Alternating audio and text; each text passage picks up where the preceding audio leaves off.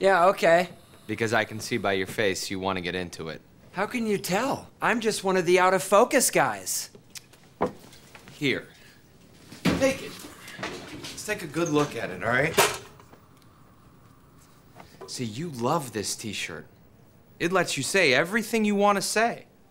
Well, it speaks pretty loudly to it's me. a t-shirt. Do you give a shit about a t-shirt? I'm just hungry, man. Let's just go out and find some barbecue or something. Look, I'm always gonna tell you the truth. Are you doing coke again? Oh, yeah, all the time.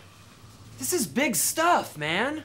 From the very beginning, we said I'm the front man and you're the guitarist with Mystique. That's the dynamic we agreed on. Page, Plant, Mick, Keith, Blackmore, Gillan. But somehow it's all turning around. We have got to control what's happening. There's a responsibility here. Excuse me, but didn't we all get into this to avoid responsibility? I can't say any more with the writer here. No, no, no, no, no, no. You can trust him. Say what you want. He won't write it. Look, I work as hard or harder than anybody on that stage. You know what I do? I connect. I get people off. I look for the one guy who isn't getting off, and I make him get off. Actually, that you can print.